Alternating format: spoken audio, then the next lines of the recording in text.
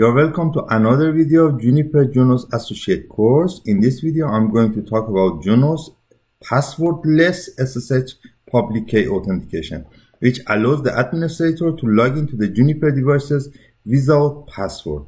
It is both attractive and at the same time secure. It is not only useful for normal SSH connection, but it can be very practical in network automation how to implement SSH public key authentication in Juniper devices. However, this process is not limited to Juniper devices, but we will implement in SRX Juniper device. In the first step, we have to generate an RSA key pair, a public key and a private key. There are many ways to generate RSA key pairs in different operating systems. But as an example, in Linux distributions, it can be generated using SSH keygen-t and RSA command. If there is no suitable software for generating RSA key pairs, this command can also be used in Juniper shell environment. If you remember, you can start the Juniper shell environment with start shell in operational mode. The property of these keys are so that whatever is encrypted with public key, it will be decrypted only with its own private key. Due to the importance of the private key, it is optionally possible to protect the private key with a password. In the second step, we copy the public key into the Juniper device. In the third step, we will bind the public key to a user in Junos device. Now you can authenticate yourself to the Juniper device just by sending your public key and without any password. If you have protected your private key, then you have to provide the password to access the private key. This password is not related to the user in Juniper device. You are probably asking how public key authentication works behind the scenes. The process is easy.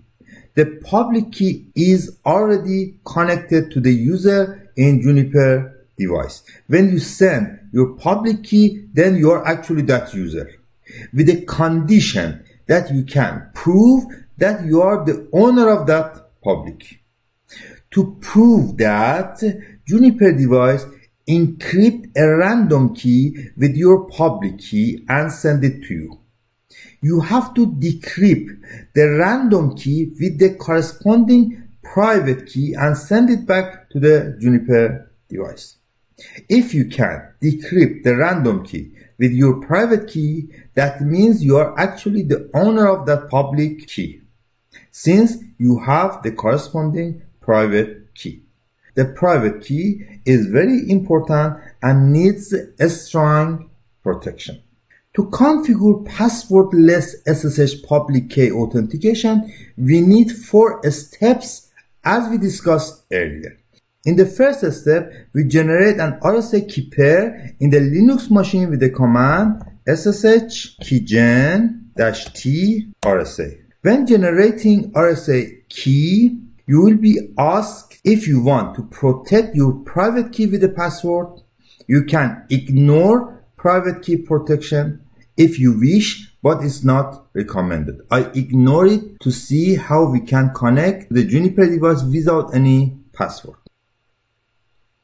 The public key is generated with the name of id underline rsa.pub and the corresponding private key name is id underline rsa.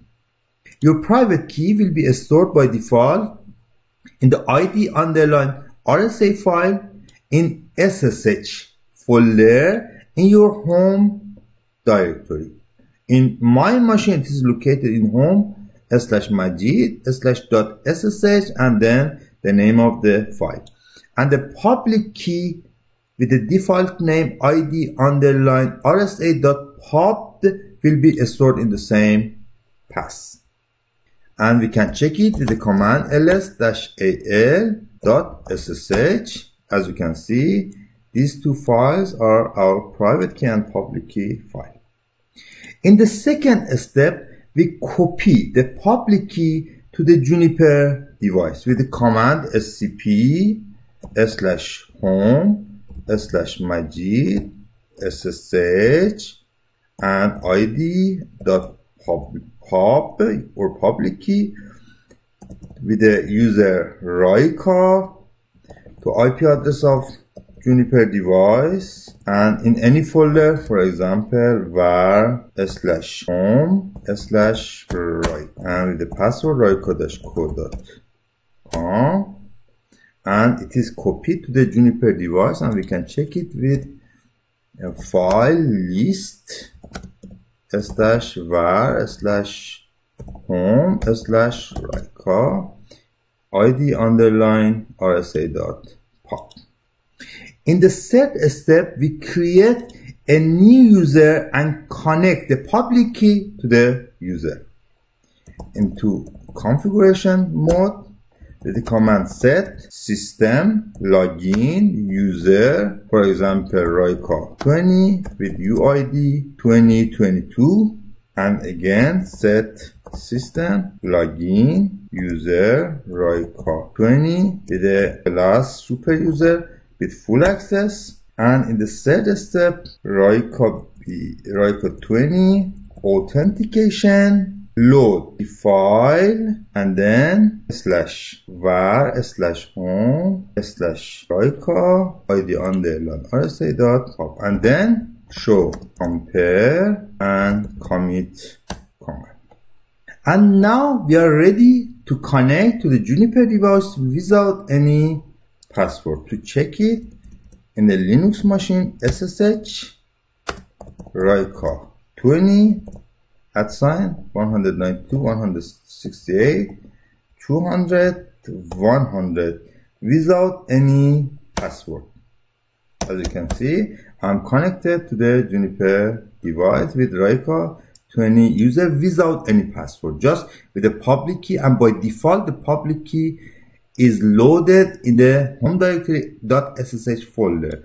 But if it is located in another place, we have to give the pass of the public key in our command.